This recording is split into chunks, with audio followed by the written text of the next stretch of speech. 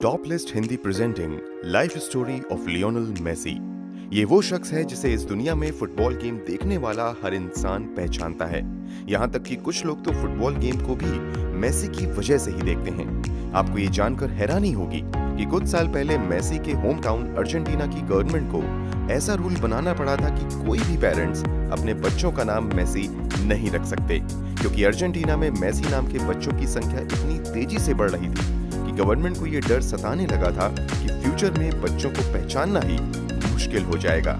भले ही मेसी आज इतने ज़्यादा सफल हो गए हैं, लेकिन उनकी सक्सेस की जर्नी इतनी ज़्यादा स्ट्रगलिंग रही है कि जिसके बारे में जानकर आपके रोंगटे खड़े हो जाएँगे।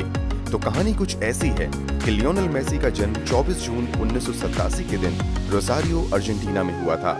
मिडिल क्लास घर में जन्मे मेसी के पिता का नाम जॉर्ज था, जो कि एक फैक्ट्री में वर्कर थे। और उनकी माँ का नाम सेलिया मारिया था, जो कि दूसरों के घरों में काम करती थी। बचपन से ही फुटबॉल गेम के शौकीन लियोनल मेसी जब 9 साल की उम्र में Newell's old boys football club में फुटबॉल खेलते थे, तब जब भी उनके हाथ में फुटबॉल आता था तो 15-15 मिनट तक कोई और प्लेयर उनसे फुटबॉल छीन तक नहीं पाता था। लेकिन 10 साल की उम्र में उन्हें ग्रोथ हार्मोन डेफिशिएंसी जैसी खतरनाक बीमारी हो गई।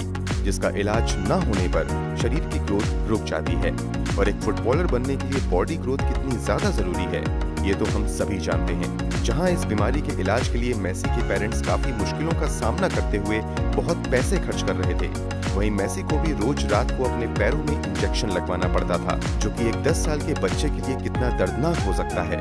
ये तो आप समझ ही सकते होंगे। एक समय तो ऐसा आया जब उनके पेरेंट्स की सभी सेविंग्स खत्म हो गईं। और उनकी मजदूरी की जॉब को देखकर कोई उन्हें लोन तक नहीं दे रहा था। लेकिन ऐसे हालातों में भी उस छोटे बच्चे ने कभी प्रैक्टिस करना नहीं छोड़ा। ये बात बार्सिलोना क्लब के डायरेक्टर्स तक पहुँची और वो मेसी का मैच देखने आए, जिसमें मेसी का फुटबॉल परफॉर्मेंस देखकर वो इतने ज़्यादा इम्प्रेस हो गए कि उन्होंने उनके माता पिता को मेसी के इलाज का खर्चा उठाने का ऑफ़र दे दिया। बदले में लियोनल मेसी को स्पेन जाकर बार्सिलोना फुटबॉल क्लब की ओर से खेलने को कहा गया। मेसी के माता पिता ये बात सुनकर काफ़ी खुश हुए और उन्होंने इस ऑफ़र को एक्सेप्ट कर लिया। मेसी ने बार्सिलोना फुटबॉल क्लब की यूथ एकेडमी ला मासिया की ओर से खेलना शुरू किया।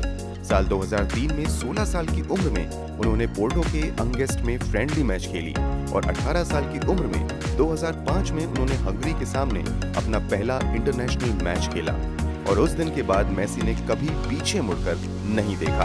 वो फुटबॉल खेलते गए और रिकॉर्ड्स बनते गए। 2012 में लियोनल मेसी ने लोकप्रिय जर्मन फुटबॉलर बीट मुलर का एक साल में पिचासी गोल करने का रिकॉर्ड तोड़ते हुए इक्यानवे गोल करने का रिकॉर्ड बनाया, जिसे गिनीज वर्ल्ड रिकॉर्ड्स में शामिल किया गया। आज लियोनल मेसी के पास फुटबॉल खेल के सिक्स बेस्ट प्लेयर अवार्ड्स हैं और वो इस दुनिया के करोड़ों लोगों के दिलों में बसते हैं।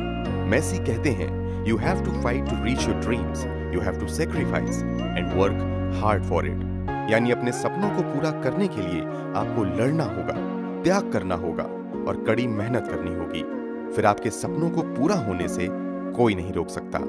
तो दोस्तों, वीडियो पसंद आया हो तो इसे लाइक करने के साथ ही शेयर करके लियोनल मेसी के सभी फैंस तक पहुँचा दीजिए। और ऐसे ही इंटरेस्टिंग लाइव सीरीज़ स्टोरीज देखते रहने के लिए हमारे चैनल टॉप लिस्ट हिंदी को सब्सक्राइब करके बेल का आइकन ज़रूर प्रेस कर दीजिए।